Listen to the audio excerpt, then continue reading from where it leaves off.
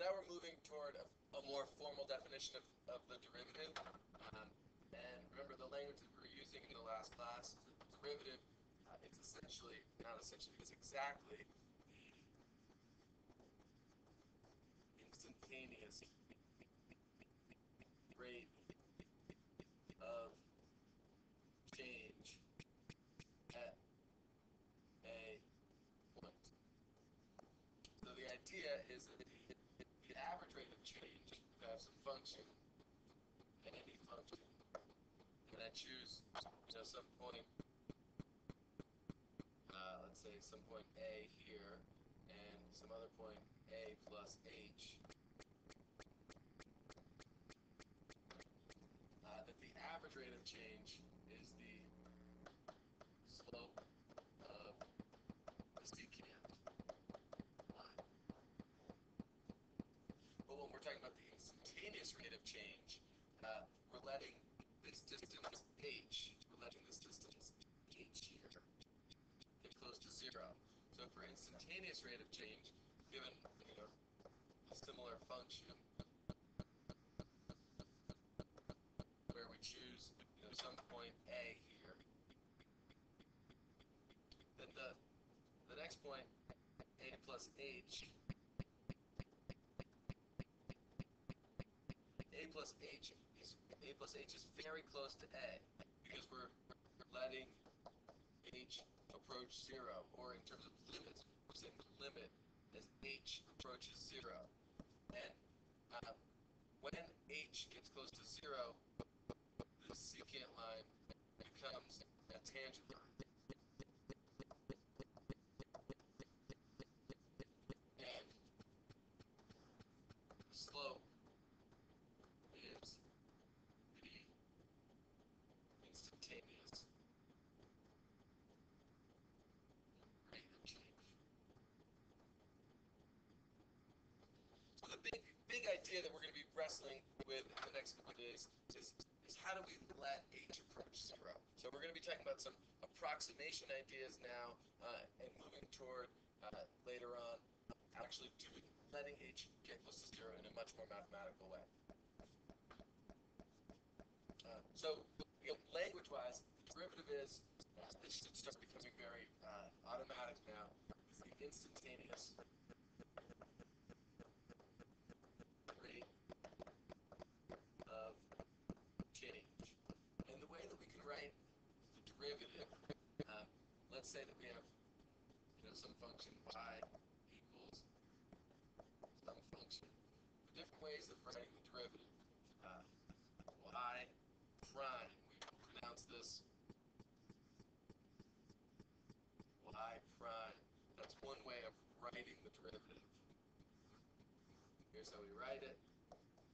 Here's how we say it. Another way, dy dx. So we say dy dx. More ways of writing the derivative. f prime of x. f prime of x. Now, why are there so many different ways of writing the derivative? Uh, because different sciences like to write it different ways, different different maths choose to write it different ways. Uh, it just is. So this, uh, because it's such a big topic, uh, it's something that um, has a number of ways of being expressed. And the last way that you'll see it expressed is d dx of a function. So we could say d dx of f of x. So these things. It'll, it, this probably seems very foreign to you at this point. It's like whenever you hear Spanish or, or French or Chinese or, or any of the languages that you're studying. The first time you hear it, it seems really difficult. It'll become second nature to you over time. Uh, but this this page is looking at vocabulary. It's first of all saying you know, the derivative is instantaneous rate of change, and how there are different ways of writing the derivative, and how we say what's written. So we're going to be looking at ways of, of by setting h to increasingly smaller values. Because, you know, this is starting to look familiar. The derivative, so I'll say like f prime of x, which is y prime, is dy dx, which is d dx of f of x. These are all different ways of just writing the derivative. This equals the limit as h approaches zero of f of a plus h minus f of a all over h. This is the limit definition of derivative. And graphically, what's going on? Once again, this is something that we've now seen a bunch of times. You know, I'm choosing some point a some point a plus h. And if we let this value h get close to zero, then are looking at the instantaneous rate of change at x equals a. So how do we let h, h approach zero? Well, for now, we're just going to choose a small value of h. So let's let's look at this example problem. It says find the derivative of this function when x equals three, uh, and then find an equation for the tangent line. So let's first find the derivative. So we know that find dy dx of f of x equals x squared and x equals 3.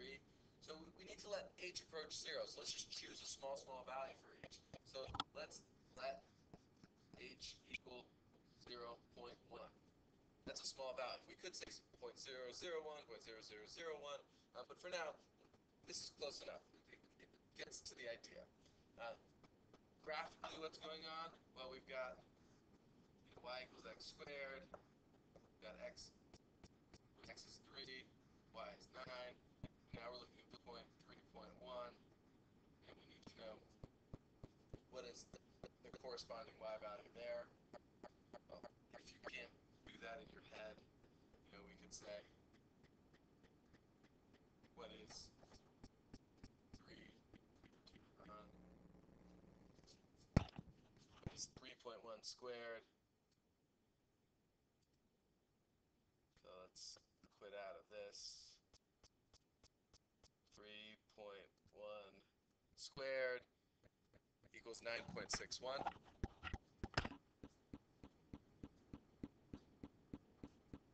So when x equals 3.1, or y is 9.61, and again, we got that from just using our calculator. So now to find the derivative, we, we find we find the slope between these two points, and we're using this equation right here. So f of a plus h, well, our a value is 3, because that's the point that we're looking at. Uh, so f of a plus h is 9.61, minus f of a is 9 over h, 0.1. And, and again, all we're doing is we're finding the slope between the two points. This is just the change in y over the change in x. That's all we're doing. The derivative, the instantaneous rate of change, is just finding the slope between two points that are very close to each other. So this equals 6.1. Now what is that? That is the slope between these two infinitely close points. And if I wanted to find an equation for the tangent line, well, we looked at this problem in the last video, an equation for the tangent line. Equation is y equals m x minus x1 plus y1. And we know the slope. The slope we found is 6.1 and we know these points. We can choose either one of the points. Let's choose, you know, the easier one, 3 and 9. So filling that in, we, this equals the slope, of the instantaneous x minus 3 plus 9. And that is, this is the equation for the tangent line. And let's see what they look like on a graph. So let's let's graph this tangent line.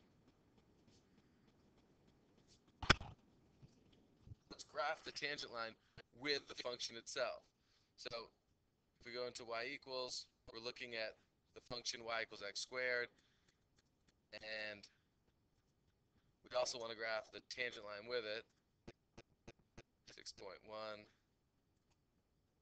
times x minus 3 plus 9. And if we graph this and change our zoom, so I'll do zoom 4. Let's zoom out a little bit. So let's do zoom 6. What we see is that when x equals 3, so 1, 2, 3, our tangent line is essentially the same thing as our curve. So to say that again, um, here's a graph of green my function y equals x squared, and in blue I'm graphing my tangent line. And what's going on is that when x equals 3, here's when x equals 3,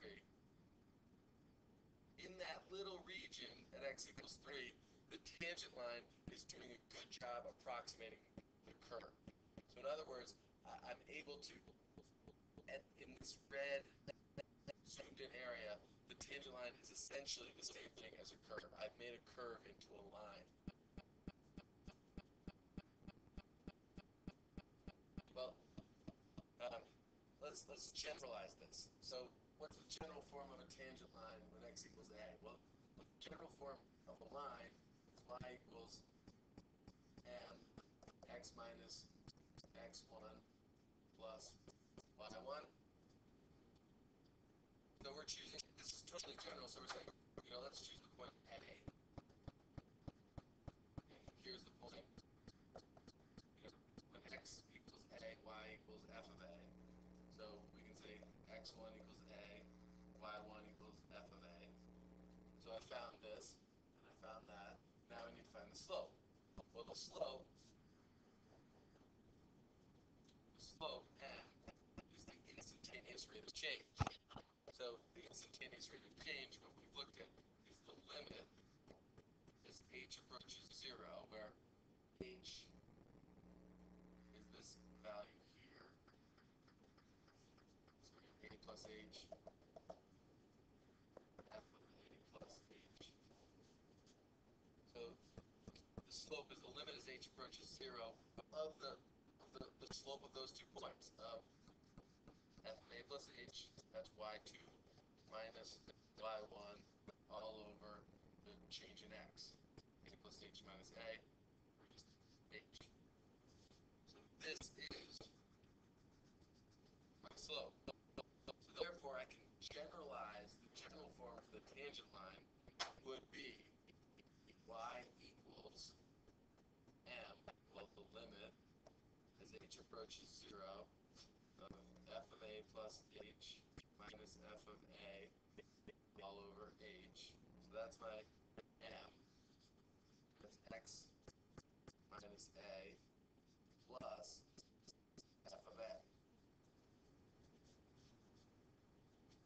So complicated looking, complicated looking equation, but you know this term is term here, the limit term, that's my slope. And a is my x1 value, and f of a is my y1 value.